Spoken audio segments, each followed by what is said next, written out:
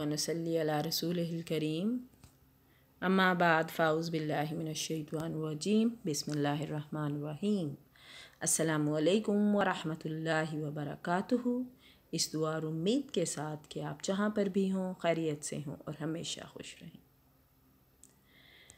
मुहर्रमुल हराम का महीना, इज़्ज़त वाला महीना, हुरमत वाला महीना, अल्लाह के चार हुरमत वाले महीनों में से पहला महीना। अल्लाह ताला ने बाज़ माह को, बाज़ रातों को, बाज़ अयाम को ख़ास फजीलत अता फ़रमाई है, जिनमें से एक दसवीं मुहर्रम यानी योम आशूरा का दिन है।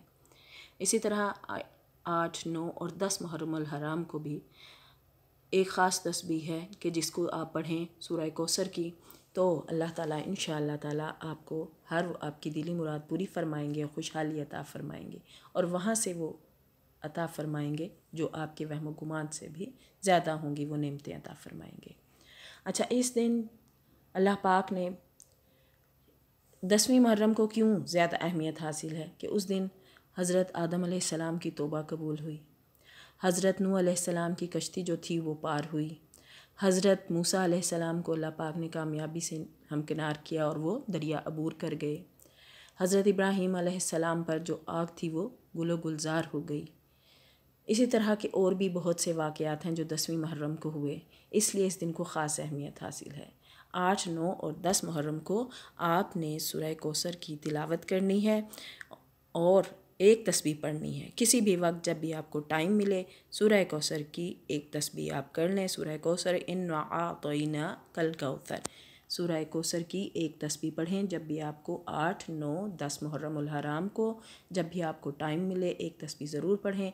अल्लाह ताला गैब से आपकी मदद फरमाएँगे। अल्लाह पाक आपको नेमतें अता फरमाएँगे। और वो नेमतें अता फरमाएँगे जो आपके वहम गुमान में भी नहीं होंगी। इन ताला अल्लाह से यकीन के साथ दुआ करें। अल्लाह पाक कबूल करने वाले हैं। लेकिन नमाज़ भी पढ़नी है, रोज़ा भी ज़रूर रखें। अल्लाह पाक इन ज़रूर कमर करम फरमाएँगे। इसके साथ साथ बहसीत मुसलमान हमें अपने कैरेक्टर को भी सही करना है। अब वो क्या चीज़ें हैं? हमें अपना अखलाक ठीक करना है। अपना अखलाक कैसे ठीक करना है? हमेशा सच बोलें, दूसरों को धोखा नहीं देना। दयानतदारी से काम करें, नमाज़ पढ़ें, अल्लाह के अहकाम पर अमल करें, अपने प्यारे नबी की सुन्नतों पर अमल करें। देखिएगा, अल्लाह पाक आपकी सारी दिली मुरादें पूरी फरमाएँगे।